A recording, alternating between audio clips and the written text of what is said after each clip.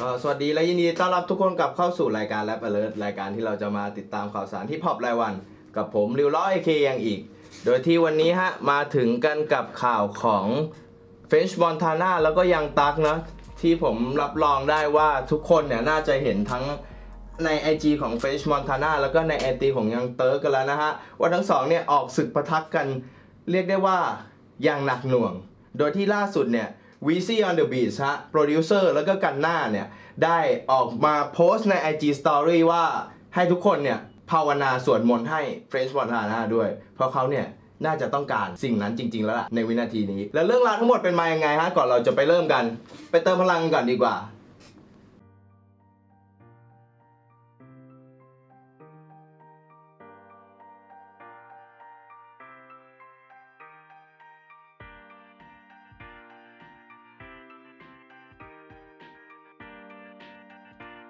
โดยที่ผมก็ต้องขอเล่าไปก่อนว่า เรื่องราวเนี่ยมันเริ่มมาจากวันหนึ่งฮะที่ French Montana เนี่ยอยู่ที่บ้านของเขาริมสระน้ำกับเพื่อนๆของเขา แล้วก็มีรายการทีวีรายการหนึ่งเนี่ยเรียกได้ว่าไป interview ไปสัมภาษณ์เจ้าตัวนะฮะ ถามถึงสถานการณ์ปัจจุบัน และด้วยความที่เมื่อประมาณ2อสวันที่แล้วเนี่ย French Montana ของเราได้ไปออก Quarantine Radio ของ Tory Lanez ซึ่งใน Quarantine Radio เนี่ยเขาก็ได้แข่งเพลงฮิตกัน และตัว French Montana ของเราเนี่ยก็ได้มีเพลงฮิตที่ได้เล่นติดต่อกันต่อไปเรื่อยๆหลายเพลงเลยทีเดียวทำให้เขาเนี่ยดูจะมีความมั่นใจมากหลังจากวันนั้นนะว่าเขาเนี่ยเป็นบุรุษที่ทำเพลงฮิตติดชาร์ตเนี่ยได้เยอะมากที่สุดและในบทสัมภาษณ์สัมภาษณ์นั้นฮะ French Montana ก็ได้ออกมาพูดเรื่องที่ไม่น่าพูดที่สุดในจักรวาลนี้ เขาบอกว่าเอาจริงๆเนี่ยเขานี่มีเพลงฮิตเยอะกว่า Kendrick Lamar อีกนะ เขาเนี่ยอาจจะเก่งไม่เท่า Kendrick Lamar หรอก แต่ถ้าเทียบกันเรื่องเพลงฮิต ถ้าเกิดสมมุติเลยสมมุติเนี่ย ว่าไปที่ festival festival หนึ่งและจับ French Montana กับ Kendrick Lamar ไปเล่นต่อกันเนี่ย French Montana เนี่ยบอกว่าเขาเนี่ยเจ๋งกว่าคนดูเนี่ยรู้จักเขาเยอะกว่า แล้วคนดูเนี่ยชอบเขาเยอะกว่า นอกจากนั้นเขายังจบด้วยการย้ำอีกทีว่า Kendrick เนี่ยเก่งกว่าเขาก็จริง แต่เพลงฮิตของเขาเนี่ยแม่งเยอะกว่าแน่นอนฮะ เรื่องนี้ก็จุดประกายทลายฝันหลาย ๆ คนเลยนะหนึ่งในนั้นก็คือ Young Thug ของเราที่ยอมไม่ได้ฮะYoung Thug ของเราก็ได้ถ่ายวิดีโอลงใน IG Thugger Thugger ของเขาบอกไว้ว่ามึงเนี่ยนะ French Montana มีเพลงฮิตเยอะกว่า Kendrick Lamar มึงบ้าแล้ว ซึ่งก็อย่างที่ทุกคนรู้ฮะแน่นอนว่า French Montana เนี่ยนะจะสู้ Kendrick Lamar ได้ มันเป็นไปไม่ได้อยู่แล้ว แล้ว French Montana เนี่ยหลังจากที่ได้เห็นคลิปวิดีโอนี้ก็คงจะโกรธฮะ French Montana ของเราก็เลยได้ออกมาแชร์รูปที่ Young Thug เนี่ยใส่กระโปรงใน MV เพลง แล้ว French Montana ของเราก็ยังได้พูดอีกว่า เออขอบคุณมากเลยว่ะ Young Thug ที่มึงเนี่ยใส่กระโปรงมาถ่าย MV ของกู ก็ทำให้ MV ของกูเป็นที่พูดถึงเยอะขึ้นมากเลย นอกจากนั้นเนี่ยก็ยังพูดกระแซะกระแซะนะครับว่า Young Thug ของเราเนี่ยเป็นตุ๊ด อะไรประมาณนั้น ซึ่งก็เป็นเรื่องที่ทุกคนทะเลาะกันมานานแล้วนะ Young Thug ของเราให้เห็นเรื่องนี้ก็เลยยอมไม่ได้ยอมไม่ได้ ส่งสารท้ารบกลับไปใน IG อีกครั้งหนึ่งลงรูปฮะYoung Thug ของเราได้บอกไว้ว่า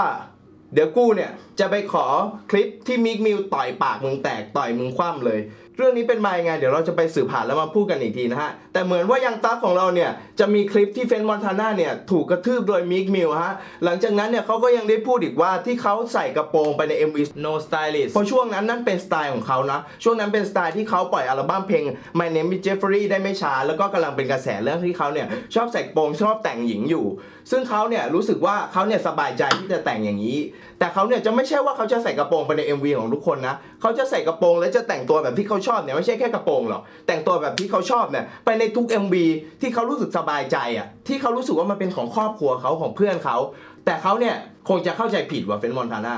คิดว่ามึงเนี่ยเป็นเพื่อนกูเหมือนกัน และเอาตรงๆนะเรื่องทั้งหมดเนี่ยมันเป็นการทะเลาะกันมาจากเรื่องอะไรฮะ เรื่องใครเก่งกว่ากัน French Montana หรือ Kendrick Lamar ไม่ใช่เรื่องตุ๊ดเรื่องพลาดเรื่องอะไรพวกนี้มันไม่เกี่ยวมันเหมือนการหาเรื่องกันมากกว่า หลังจากนั้นฮะ French Montana กับ Young Thug ของเราก็ได้ลงคลิปลงรูปด่ากันไปกันมากันไปกันมา เรียกได้ว่างานนี้เรื่องใหญ่แล้วจริงๆนั่นแหละ เพราะล่าสุด Gunna ก็อย่างที่ผมบอกไปฮะ Wheezy โปรดิวเซอร์ของทางฝ่าย YSL อะนะฮะ แล้วก็ Gunna ลูกน้องคนสนิทของ Young Thug ที่ Young Thug เนี่ยปั้นมาพร้อมๆกับ Lil Baby เลย ก็ได้ออกมาโพสต์ในสตอรี่ IG บอกว่าขอให้ทุกคนเนี่ยสวดมนต์ให้กำลังใจ French Montana ด้วย เพราะเขาเนี่ยต้องการสิ่งนั้นแน่นอนในอนาคตเนี่ย ไม่แน่ใจเลยจริง ๆ ว่าจะเกิดอะไรขึ้น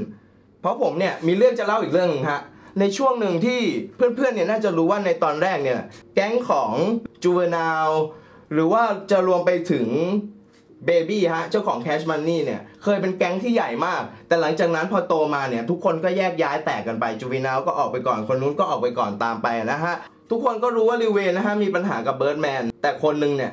ที่ไปยิง Lil Wayne เพราะเรื่องนี้ แต่ทุกคนจำได้หรือเปล่า ในช่วงที่เรื่องเนี่ยกำลังคุกรุ่นอยู่ทัวร์รถบัสของ Lil Wayne เนี่ยได้ถูกคนคนหนึ่งยิง ซึ่งคนคนนั้นเนี่ยสุดท้ายแล้วคือผู้จัดการของ Young Thug เนี่ยแหละ ผมบอกเลยฮะเรื่องนี้เนี่ยน่าจะกลัว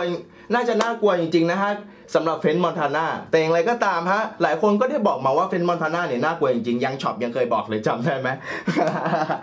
เพื่อนๆก็คงจะต้องรอดูว่าเรื่องนี้จะจบกันยังไงกันแน่นะฮะแต่ผมบอกเลยอาจจะไม่จบดีแล้วล่ะ